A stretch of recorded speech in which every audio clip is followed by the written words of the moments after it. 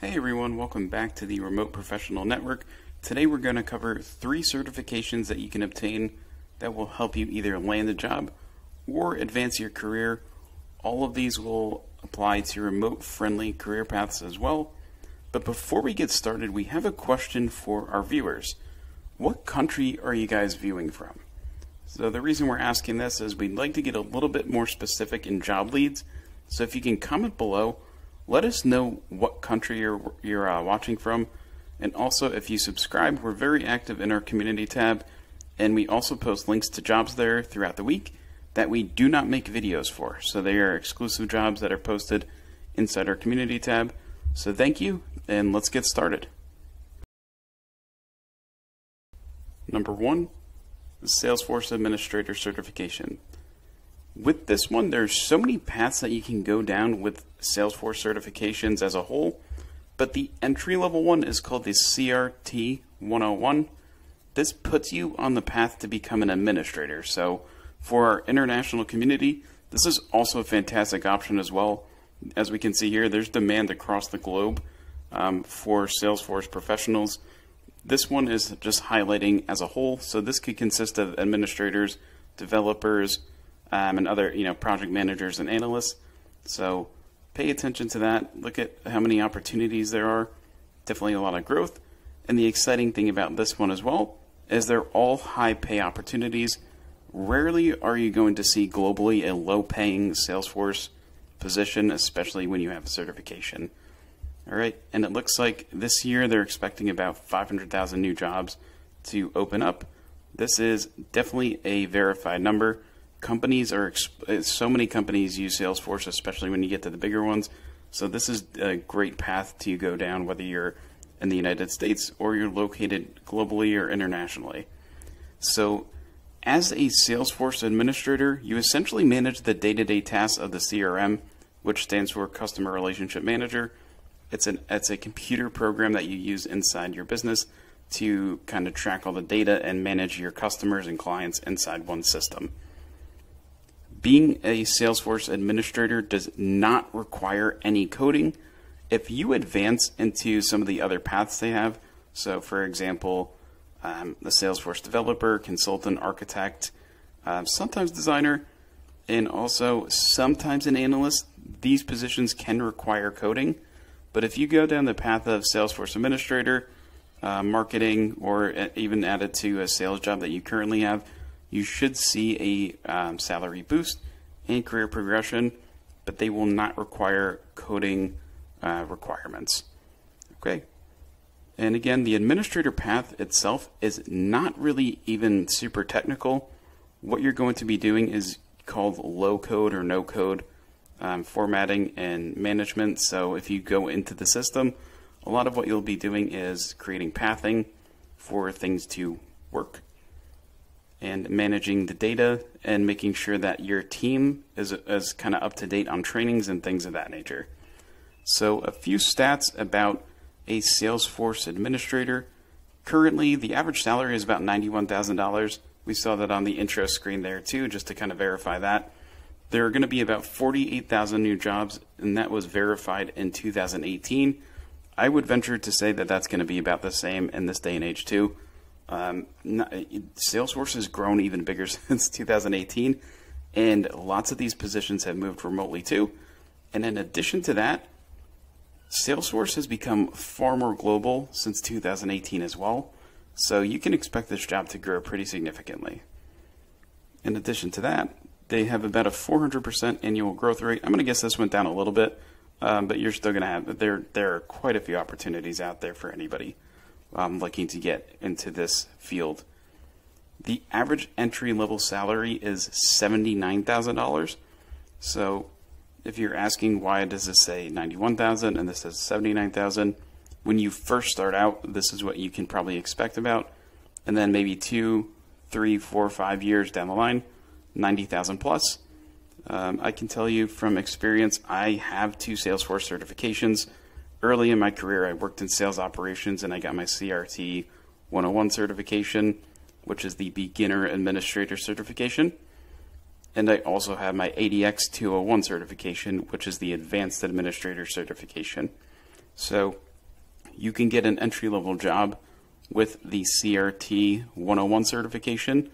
If you want to hit this 91,000, you will have to get the 201, which is the Advanced Administrator certification. And if that's sounding intimidating to you, it's not going to be. Once you actually get into the position and you get the um, 101 certification, you're going to know so much more and you're going to be working with Salesforce every single day.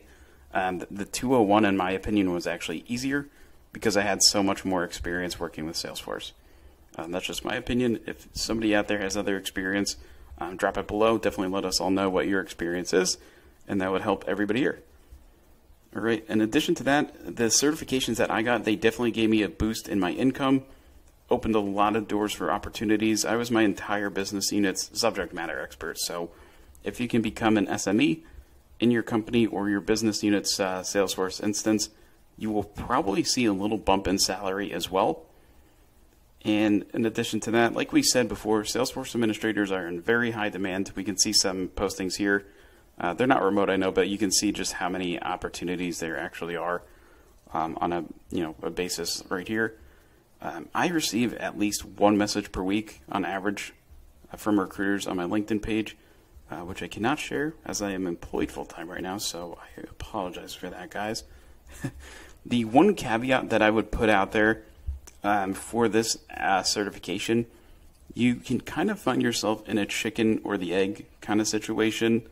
And what I mean by that is most employers will want to see real world Salesforce experience and the certification. So a lot of times the question becomes which one do I aim for to, you know, obtain first? The real world experience or the certification? My opinion specifically on the CRT 101 certification is just get the certification. That way, when this opportunity arises that you can work on a Salesforce related project, you're ready to go. You know how Salesforce operates and whatnot. And I say this because the CRT 101, it's a low investment. And right now, there's so many opportunities to work with Salesforce. I believe once you get that uh, certification, you're going to have a lot of opportunities that come across your path where you can get that experience and then eventually land a job. So again, specifically for the CRT 101 and probably even the 201, um, if you don't have real world experience, I would get both of those. Um, I, I, think I think getting the real world experience after that will be fairly easy uh, if you're if you're dedicated to getting this position. Okay, and another thing that I would throw a little bit of caution out there too as well is that these numbers are for a Salesforce administrator. There's also a position that is pretty popular called a junior Salesforce administrator. Typically, you might start out and you might find yourself in a position like that. There are still a ton of jobs and opportunities. I would estimate that the salary is probably going to be about $10,000 less. So I would give you a realistic salary expectation to start out in your average entry level salary probably about 65,000 to 79,000 coming in as an entry level person who doesn't have much real world experience and the certification. If you have the real world uh, experience and the certification, you can expect 79,000 to 91,000. Um, I am heavily involved in the Salesforce community, and I would say too that this is going to be much higher further down your career path. If you just stuck with being a Salesforce administrator, I, I believe you can probably hit about 130 to 150 um, if you become, you know, a subject matter expert and really uh, get deep into the Salesforce world. Number two, HubSpot Academy certifications. We're not going to cover a specific certification here as there are so many certifications that you can obtain on HubSpot Academy. Just so you know, HubSpot is a CRM just like Salesforce it's pretty popular. You'll probably see it used more in the startup world or smaller businesses. It has a pretty robust free version, and that's typically why you see it in those um, smaller companies. So HubSpot is incredibly well known for their education certifications. You might have seen them around if you have a LinkedIn profile. You might have seen them around a, quite a bit, decent amount. Realistically, these these certifications probably won't get you a salary increase, but if you're someone that hasn't had much luck uh, landing an interview and your resume is getting rejected, adding one of these certifications could land you a job and definitely help you get some more attention on your LinkedIn profile too. So these would be great additionally for folks looking to transition into a new career. I have a few friends who are teachers, and I always put them onto the Salesforce certification we covered before or these HubSpot certifications. So once you complete a certification, you'll actually get a badge which you can put on your LinkedIn profile. And recruiters, some of them will search for these badges specifically, and they will find your profile via that. And it's also good just to kind of uh, build up your LinkedIn profile, fill it out a little bit more, and also being able to put a certification on your resume may boost you up. Number three, Microsoft Excel certifications. If you're someone who's looking to land a remote data entry job, stick around for this one. This is another great one for global viewers as well. Um, Excel is a global application.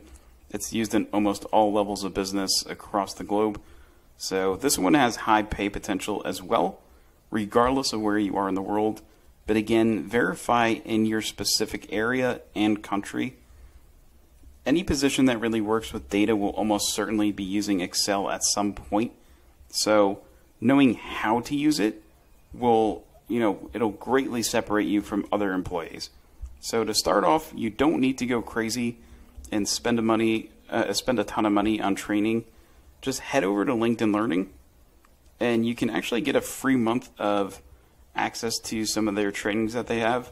And you can also add the certifications of completion to your profile for recruiters to see again, similar to HubSpot certifications.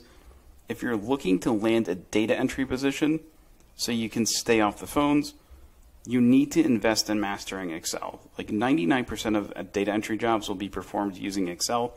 And if you have this skill, I would be shocked if you don't land almost every data entry job that you apply to.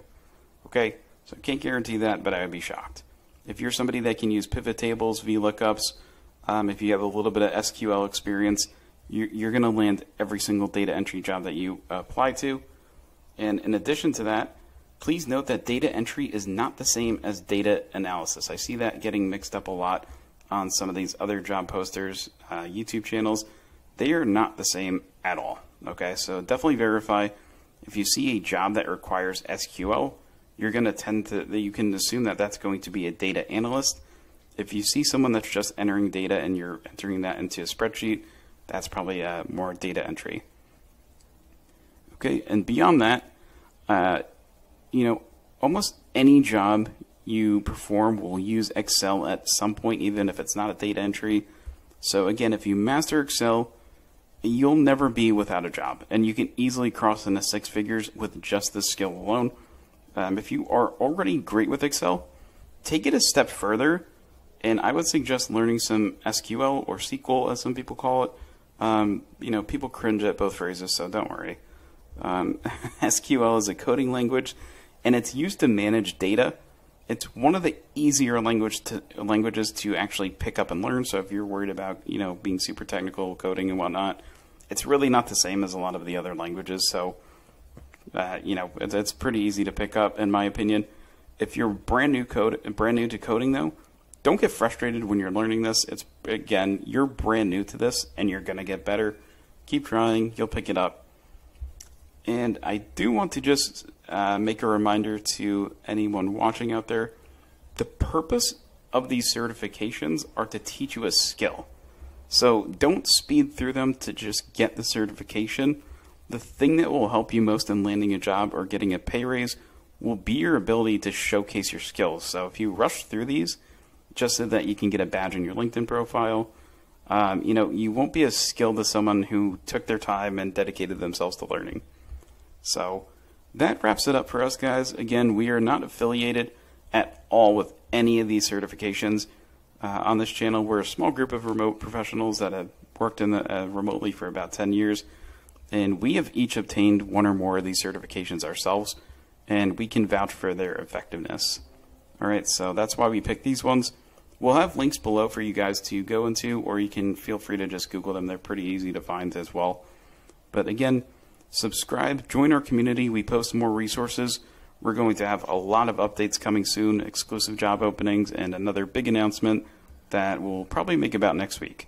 So, again, take care. We'll see you next time. and we hope you uh, subscribe to the Remote Professional Network.